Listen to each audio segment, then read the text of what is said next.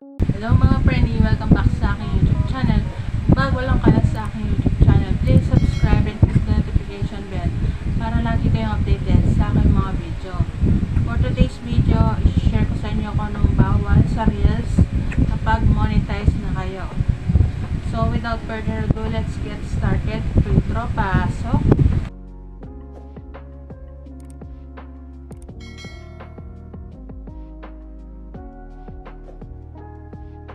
So, ayun, kapag monetize na kayo, bawal ang mga background music dahil madalas dyan copyrighted. Pwede naman kayo kumuha sa Creator Studio.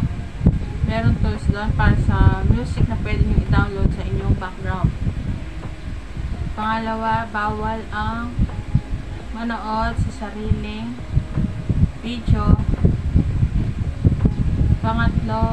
bawal din, bawal ang paggamit ng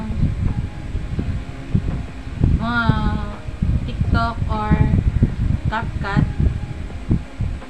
na may watermark. Pwede kayong ma-flag doon. So, bawal sa yon sa monetization policies ni FB. Pang-apat, bawal ang mga video na galing sa ibang platform kaya ng YouTube at TikTok na hindi sa inyo dahil bawal yon sa, sa monetization policy na unoriginal content. Kailangan kayo mismo ang gumawa ng mga video nyo.